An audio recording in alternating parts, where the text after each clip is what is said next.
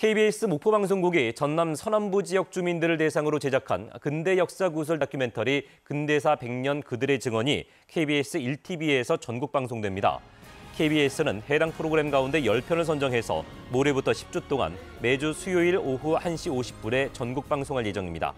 KBS 목포방송국은 그동안 주민 35명을 심층 인터뷰해 일제강점기와 6.25 한국전쟁, 산업화와 민주화까지의 역사를 구술 형식의 다큐멘터리로 구성해 유튜브와 라디오 채널에서 방송해왔습니다.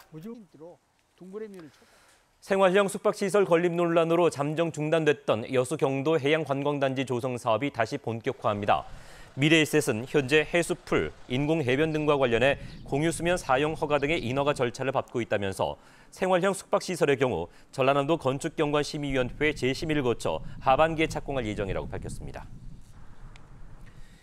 여수국가산단 개조 사업의 첫 사업인 스마트 제조 고급 인력 양성 사업을 위해서 전남대와 전라남도, 여수시가 힘을 모으기로 했습니다. 전남대 여수 캠퍼스는 전남 여수 산학 융합원 등과 함께 스마트 제조 고급 인력 양성 사업 협약을 맺고 본격적인 인력 양성에 나섰다고 밝혔습니다. 100억 원이 투입되는 이번 사업은 GS칼텍스와 LG화학 등은 물론 중소기업 33군데도 참여하며 교육생 330여 명은 취업 지원 서비스를 제공받게 됩니다. 전라남도 의회 예산결산위원회가 올해 첫 추경 심사를 마무리했습니다.